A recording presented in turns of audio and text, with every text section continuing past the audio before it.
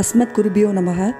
यस्या भवद्भक्तजनातिहन्तुः पितृत्वमन्येष्वविचार्यतूर्णं स्तम्भेऽवतारस्तमनन्यलभ्यं लक्ष्मीनृसिंहं शरणं प्रभत्ये।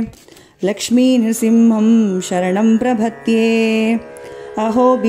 कारुडशैलमध्ये कृपावशात् कल्पितसन्निधानम् लक्ष्म्या समालिङ्गितवामभागम् लक्ष्मीनृसिंहं शरणं प्रभत्ये। लक्ष्मीनृसिंहं शरणं प्रभत्ये।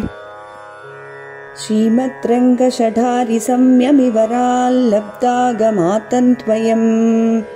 श्रीमद्वीररघुद्वहाद्य षडजित् पादारविन्दाश्रयम्। श्रीमद्वेतवतं सदेशिकयतेः कारुण्यवीक्षास्पदम्। सेवे रङ्गधुरीनशासनवशम्। नारायणं योगिनम्। श्रीमते श्रीलक्ष्मीनृसिंह दिव्यपादुकासेवक श्रीनारायणयतीन्द्रमहादेशिकाय नमः